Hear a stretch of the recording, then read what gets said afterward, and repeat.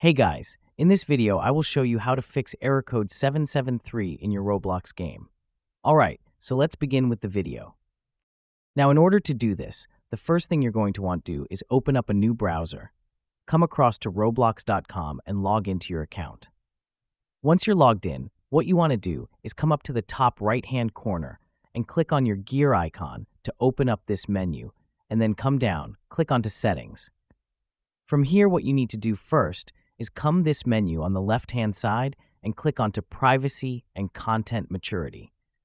Now here, make sure it is set to restricted mode. Once you've done that, what you need to do is come back this menu on the left hand side, click onto security, and on here what you want to do is scroll down all the way to bottom. At the very bottom what you want to do is click onto the log out of all sessions button, just down here. And on the window that comes up, be sure to click on to log out of all your sessions. Now after doing this, what you're going to want to do is come your desktop, and from your, you want to come down the search box in the bottom left-hand corner, and then go ahead and type Settings. Underneath Best Match, you should see Settings come up, so click this to go into your settings, and from here you want to go into your apps. So you should see it here. If don't see it, you can use the search box up here to search for apps and in here, go to Installed Apps, and then use the search box to go ahead and search for Roblox.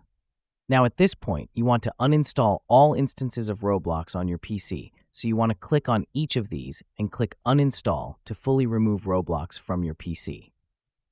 After doing that, what you want to do is come across roblox.com slash download Roblox onto your PC.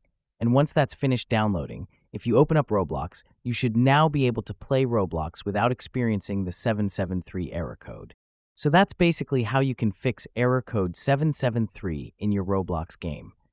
So that's all for this video. Consider subscribing if you find it helpful, and I'll catch you in the next one. Thanks.